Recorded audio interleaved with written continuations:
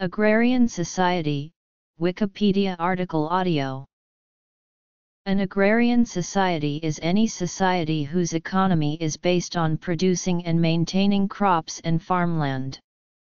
Another way to define an agrarian society is by seeing how much of a nation's total production is in agriculture. In an agrarian society cultivating the land is the primary source of wealth. Such a society may acknowledge other means of livelihood and work habits but stresses the importance of agriculture and farming.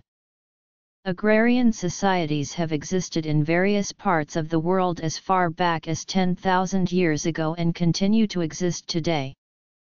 They have been the most common form of socio-economic organization for most of recorded human history.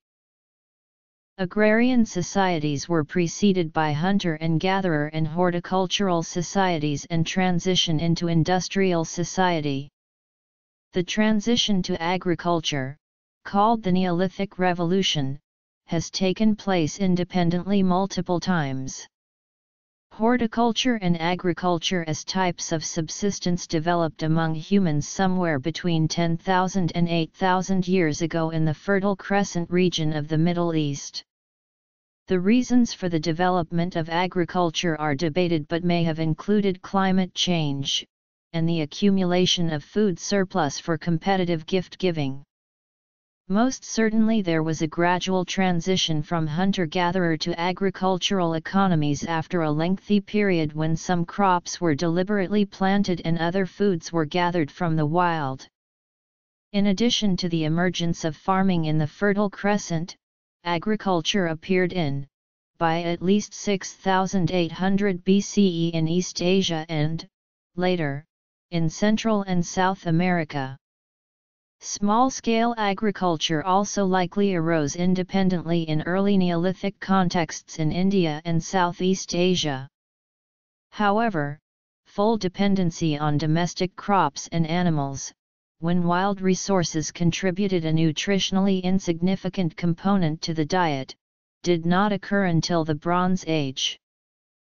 History In the modern world, Agriculture allows a much greater density of population than can be supported by hunting and gathering and allows for the accumulation of excess product to keep for winter use or to sell for profit the ability of farmers to feed large numbers of people whose activities have nothing to do with material production was the crucial factor in the rise of surplus, specialization, advanced technology, hierarchical social structures, inequality, and standing armies.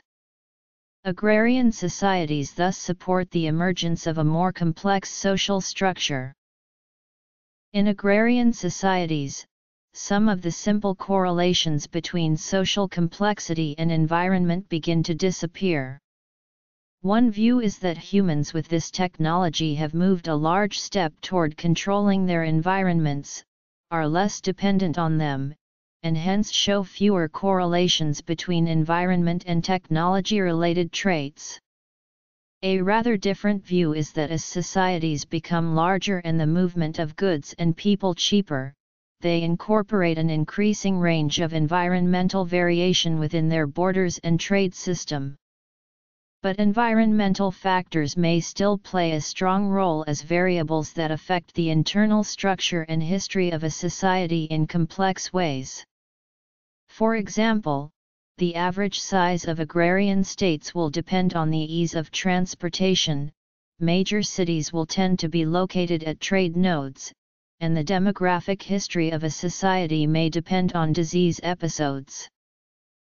Until recent decades, the transition to farming was seen as an inherently progressive one, people learned that planting seeds caused crops to grow, and this new improved food source led to larger populations, sedentary farm and town life, more leisure time and so to specialization, writing, technological advances and civilization. It is now clear that agriculture was adopted despite certain disadvantages of that lifestyle. Archaeological studies show that health deteriorated in populations that adopted cereal agriculture, returning to pre-agricultural levels only in modem times. This is in part attributable to the spread of infection in crowded cities, but is largely due to a decline in dietary quality that accompanied intensive cereal farming. People in many parts of the world remained hunter-gatherers until quite recently, though they were quite aware of the existence and methods of agriculture, they declined to undertake it. Many explanations have been offered, usually centered around a particular factor that forced the adoption of agriculture, such as environmental or population pressure. Agrarian societies transition into industrial societies when less than half of their population is directly engaged in agricultural production. Such societies started appearing because of the commercial and industrial revolution which can be seen beginning in the Mediterranean city-states of 1000 to 1500 CE.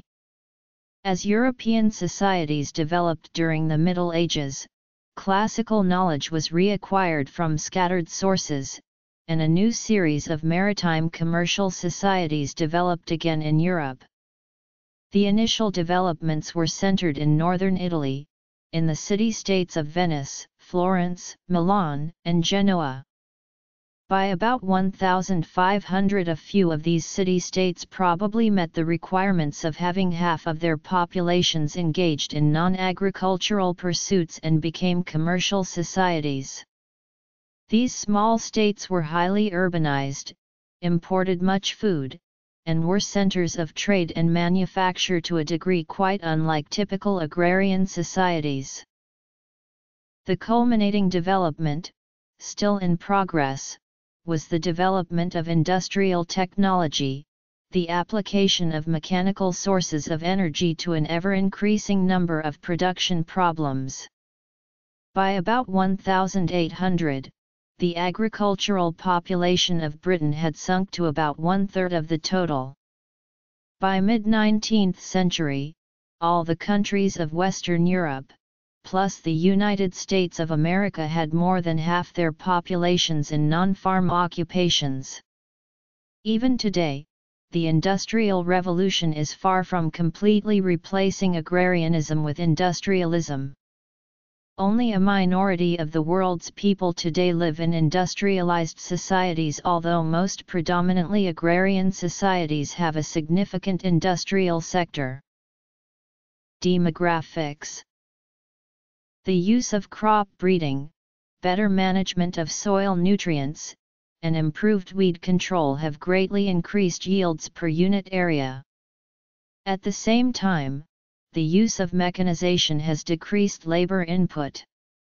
The developing world generally produces lower yields, having less of the latest science, capital, and technology base.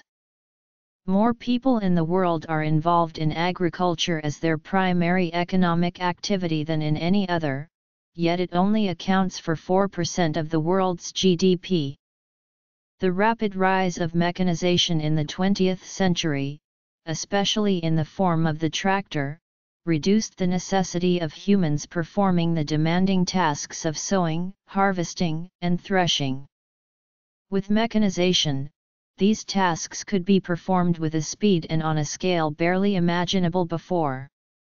These advances have resulted in a substantial increase in the yield of agricultural techniques that have also translated into a decline in the percentage of populations in developed countries that are required to work in agriculture to feed the rest of the population. The main demographic consequences of agrarian technology were simply a continuation of the trend toward higher population densities and larger settlements. The latter is probably a more secure consequence of agrarian technology than the former. In principle livestock compete with humans for food and in some environments, advanced horticultural techniques can probably support more people per square kilometer than agrarian techniques. Social organization Aside from average density, agrarian technology permitted urbanization of population to a greater extent than was possible under horticulture for two reasons. First, settlement sizes grew with agrarian technology because more productive farmers freed more people for urban specialty occupations. Second, land and maritime transportation improvements made it possible to supply great cities of 1 million, plus inhabitants such as Rome, Baghdad, and the Chinese capital cities. Rome, for example, could draw grain and other bulk raw materials from Sicily, North Africa, Egypt, and southern France to sustain large populations, even by modern standards, using maritime transport on the Mediterranean.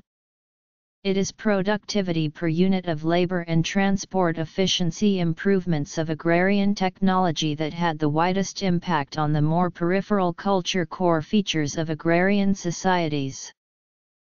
The populations of agrarian societies also have historically fluctuated substantially around the slowly rising trend line, due to famines, disease epidemics, and political disruption. At least at the high points, population densities often seem to have exceeded the level at which everyone could be productively employed at current levels of technology. Malthusian deterioration, underemployment, and a decline in rural and lower class urban standards of living ensued. Agrarian societies are especially noted for their extremes of social classes and rigid social mobility. As land is the major source of wealth, social hierarchy develops based on land ownership and not labor. The system of stratification is characterized by three coinciding contrasts, governing class versus the masses, urban minority versus peasant majority, and literate minority versus illiterate majority. This results in two distinct subcultures the urban elite versus the peasant masses. Moreover, this means that cultural differences within agrarian societies greater the differences between them. Energy The landowning strata typically combine government, religious, and military institutions to justify and enforce their ownership, and support elaborate patterns of consumption, slavery, serfdom, or peonage is commonly the lot of the primary producer. Rulers of agrarian societies do not manage their empire for the common good or in the name of the public interest, but as a piece of property they own and can do with as they please. Caste systems, as found in India, are much more typical of agrarian societies where lifelong agricultural routines depend upon a rigid sense of duty and discipline. The emphasis in the modern West on personal liberties and freedoms was in large part a reaction to the steep and rigid stratification of agrarian societies. Agrarianism Within agrarian societies the primary source of energy is plant biomass. This means that like hunter-gatherer societies, agrarian societies are dependent on natural solar energy flows. Thus agrarian societies are characterized by their dependence on outside energy flows, low energy density, and the limited possibilities of converting one energy form into another. Energy radiating from the sun is primarily caught and chemically fixed by plant photosynthesis. Then it is secondarily converted by animals and, finally, processed for human use. However, unlike hunter-gatherers, agrarianism's basic strategy is to control these flows. For this purpose, agrarian system mainly uses living organism which serve as food, tools, building material. Mechanical devices making use of wind or running water also can be used to convert natural energy flows. The amount of energy an agrarian society can use is restricted due to the low energy density of solar radiation and the low efficiency of technology. In order to increase production an agrarian society must either increase the intensity of production or obtain more land to expand into. Expansion may take place either by claiming territories occupied by other communities, but expansion also may take place by claiming new ecological niches from other living species. However, societies are still limited by a diminishing margin of utility in that the best lands for farming are usually already under cultivation, forcing people to move into less and less arable lands. Agrarianism most often refers to a social philosophy which values agrarian society as superior to industrial society and stresses the superiority of a simpler rural life as opposed to the complexity and chaos of urbanized, industrialized life. In this view the farmer is idealized as self-sufficient and thus independent as opposed to the paid laborer who is vulnerable and alienated in modern society. Moreover, agrarianism usually links working the land with morality and spirituality and links urban life, capitalism, and technology with a loss of independence and dignity while fostering vice and weakness. The agricultural community, with its fellowship of labor and cooperation, is thus the model society. Agrarianism is similar but not identical with back to the land movements.